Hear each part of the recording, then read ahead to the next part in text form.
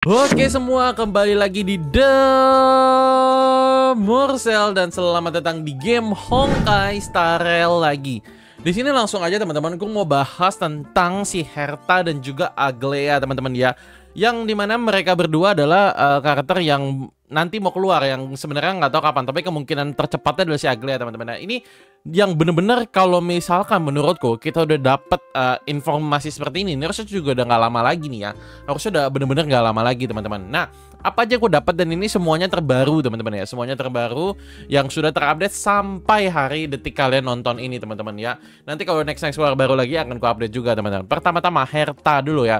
Herta tersendiri nanti yang bakal keluar teman-teman. Itu adalah karakter baru jadi tidak seperti uh, Mark 7 tapi seperti si um, dan Heng Inhibitor Lunai dan juga seperti si ya dan Heng Inhibitor Lunai lah contohnya lah ya teman-teman ya. ini adalah karakter baru gitu lah simpelnya lah. Dan damage utamanya si Herta nanti ini adalah berdasarkan dari skillnya teman-teman ya dari skillnya. Dan untuk pet dan elemennya sendiri harusnya ice dan distraction. Kenapa ada kata-kata harusnya? Karena tidak 100% teman-teman ya. Yang katanya tidak 100% sih ice-nya teman-teman ya. Ini itu masih tanda tanya banget nih.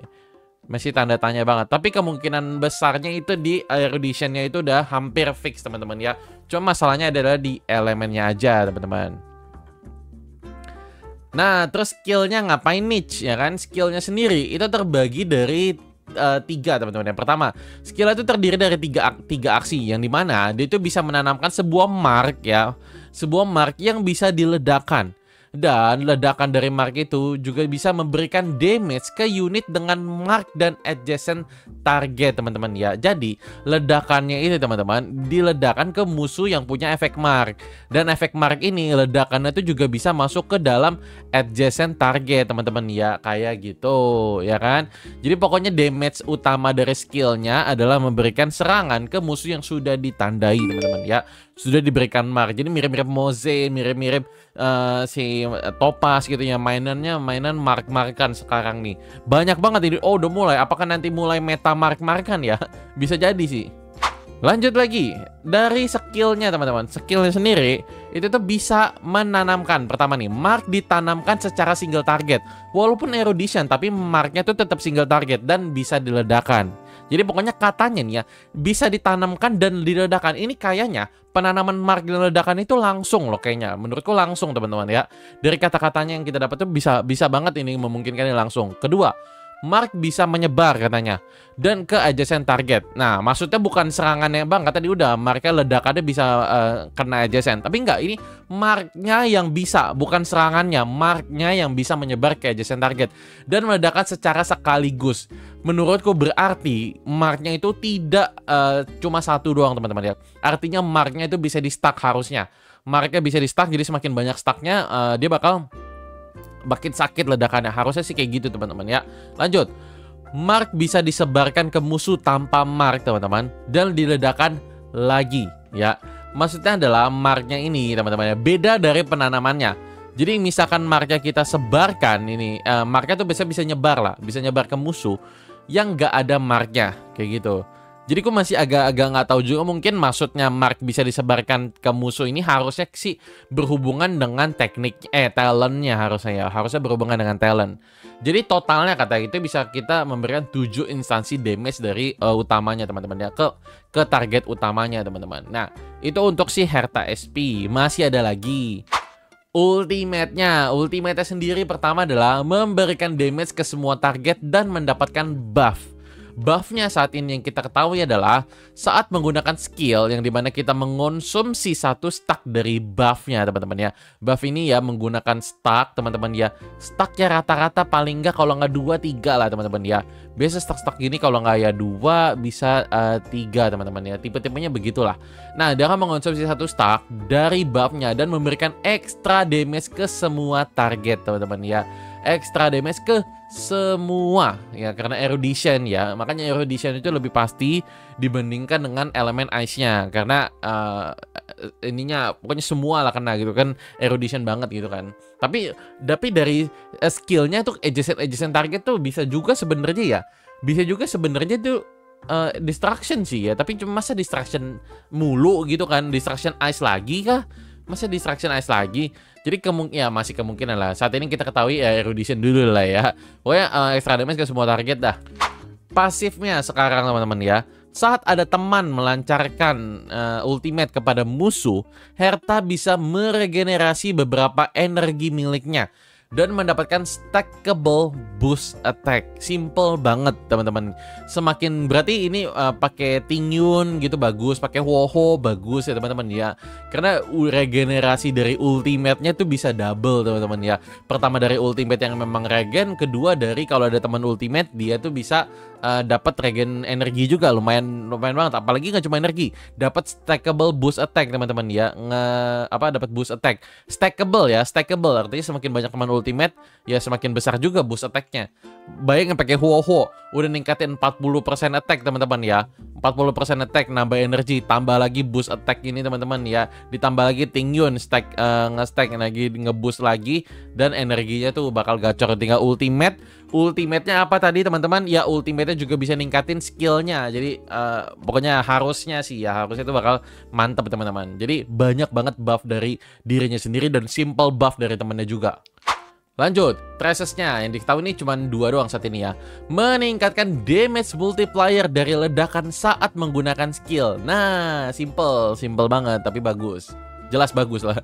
Yang kedua, meningkatkan crit damage diri sendiri. Nah, kata-kata crit damage ini sebenarnya agak-agak giveaway teman-teman ya. Artinya kita tahu kalau misalkan uh, mainnya nanti itu tuh adalah direct damage teman-teman kata crit damage ya. Mainnya direct damage. Berarti kalau misalkan kalian mau masih uh, relik-reliknya simpen sih ya. Relik-relik kayak crit crit crit damage gitu masih disimpan teman-teman ya. Soalnya dapetnya uh, buat Herta nanti kayak gitu. Pokoknya direct lah ya. Bagi masih lama juga sih ini mah. Tekniknya sekarang, untuk tekniknya sendiri, dia itu meningkatkan attack setelah masuk ke dalam battle dan berlangsung selama beberapa turn. Ya, buff lah ya, buff simple banget teman-teman si Herta ini. Dan kodenya by the way, kode Herta ini ya, kode saat ini, saat ini belum rilis adalah Herta tapi ada kata-kata lagi yaitu adalah SP teman-teman ya. Herta SP mungkin uh, ya kan Herta versi aslinya kayaknya ya. Kayaknya versi asli atau boneka lainnya juga sebenarnya kita nggak tahu teman-teman ya. Pokoknya Herta SP aja gitu katanya. SP spesial kan gitu maksudnya atau apalah gitu lah teman-teman singkatan SP ya. Selanjutnya adalah Aglea. Kenapa aku taruh dua bola mata di sini? Dari tampilan Aglea nanti teman-teman yang saat ini gue nggak bisa tunjukkan. By the way, kok search Aglea munculnya kayak gini ya. Ini tuh mirip banget ya. Di mana rambutnya warnanya mirip bajunya mirip ya baju-baju Yunani gitu teman-teman ya. Baju-baju uh, kayak di film-film Hercules gitu teman-teman ya kan. Udah gitu pakai padi di uh, kepalanya sebagai kayak uh, tiara gitu kayak mahkota teman-teman ya. ya Yunani banget lah kayak gitulah. Uh, si Aglea ini teman-teman ya. Dan Aglea tuh sudah ada kata-kata Yunaninya sebenarnya teman-teman. Tapi gue nggak tahu apa artinya. Pokoknya karakter dulu. Dari Aglea karakternya adalah karakter yang menggunakan tipe serangan lightning teman-teman ya bayangin, ini warnanya emang gini. Aglia juga uh, apa ton warnanya tuh kayak gini tuh, bener-bener mirip banget teman-teman ya. Kayak krem ke kuning-kuningan warna gading gitu teman-teman ya. Pokoknya putih gading krem gitu teman-teman. Nah, tapi serangannya lightning cuy. Ya udah biasa sih dong kasar lah nggak sesuai. Yang kedua, tapi elemen lightning ini katanya masih belum 100%. Nah, mungkin efek serangannya lightning kali ya. Tapi elemen nantinya tuh belum diketahui. Nah, kayak gitu. Terus seharusnya adalah damage dealer. Ini kata-kata seharusnya adalah damage dealer. Berarti dia belum tentu damage dealer teman-teman ya. Belum fix uh, 100% dia seorang damage dealer. Mekanik gameplaynya ya. Mekanik mekaniknya adalah tipe summon ya. Tipe summon. By the way ini bener-bener ya Saman udah dapat reliknya lah, terus kita udah dapat mode baru nama servant nanti. Itu tuh memang udah persiapkan banget itu mau collab nanti sama si ini Fate teman-teman ya. Mau collab sama Fate itu memang udah disediakan banget ibaratnya kayak gitu teman-teman ya. Mereka udah jauh-jauh hari gitu lah untuk patch-patch baru-baru nanti ya. Oke, lalu tidak bisa di heal ya. Maksudnya bukan bukan aglenya ya, tapi si summonnya ini kan nyambung nih kan lihat ya ininya nyambung ke bawah sini ya. Berarti yang tidak bisa di adalah summonnya. Bis punya speed tetap. Dan kalau nggak salah ini standar banget ya. Kalau nggak 80 paling ya 90 lah harusnya teman-teman ya. Yang ketiga bisa menggunakan skill sendiri. Jadi eh, summonannya itu bisa menggunakan skill sendiri teman-teman ya. Bisa menyerang secara mandiri. Dan Bahkan ini yang bener-bener mode baru banget teman-teman. Bener-bener sangat-sangat fresh yaitu adalah bisa diserang oleh musuh.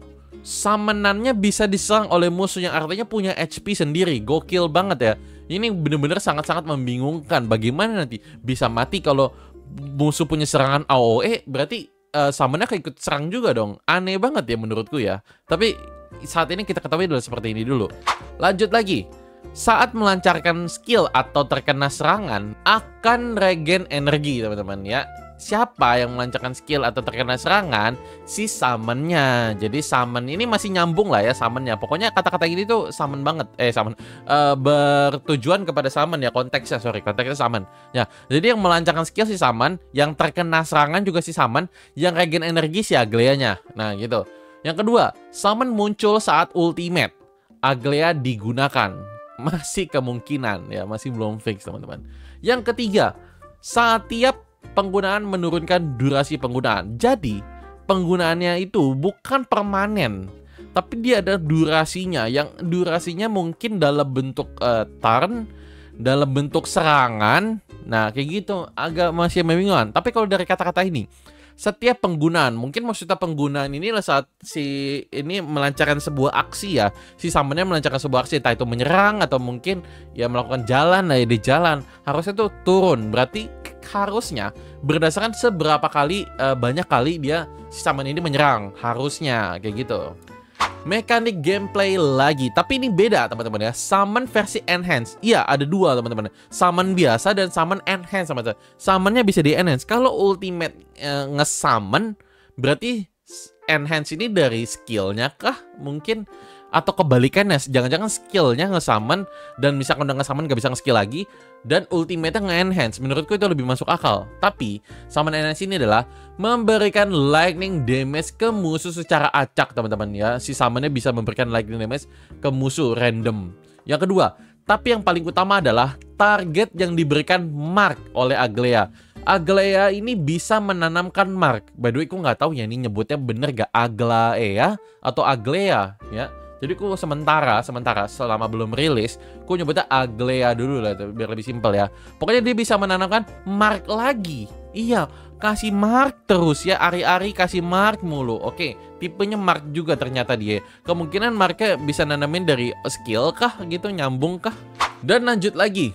Summon Enhance ini itu bisa memberikan Aglea satu stack buff teman-teman ya. Yang di mana setelah Aglea menyerang, setiap serangan memberikan satu instansi tambahan lightning damage ke random enemy ya. Jadi bisa nambah lagi instansi damage ya teman-teman ya. Semakin banyak Aglea uh, menyerang teman-teman.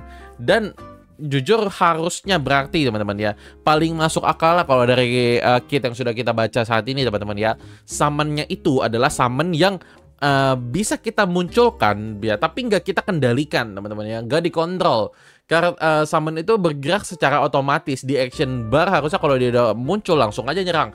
Dan tipe serangannya itu random kecuali ada penanaman mark. Dan kayaknya kalau misalkan uh, ultimate-nya nge-summon skillnya menanamkan mark ya harusnya ya skillnya menanamkan mark dan kalau misalkan Aglea nyerang instansi damage-nya bisa nambah. Serangan lightning damage-nya bisa nambah ke tapi musuhnya tetap random.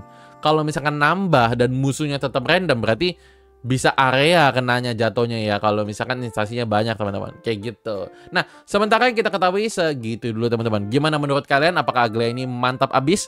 Dan juga Herta SP menurutku Herta sih lebih menarik ya daripada Aglea jujur ya ledakan-ledakan gitu kata-kata soalnya kalau bahasa Inggrisnya tuh detonate ya ini versi translatean semua detonate teman-teman ya atau meledakan ya teman-teman itu GG sih keren sih katanya ya jadi kok nggak sabar banget lihat Herta SP mudah-mudahan tema warnanya tetap ungu biar sama kayak Herta yang sekarang ya mudah-mudahan. Nah, oke okay, segitu dulu untuk video kali ini. Aku ucapkan terima kasih.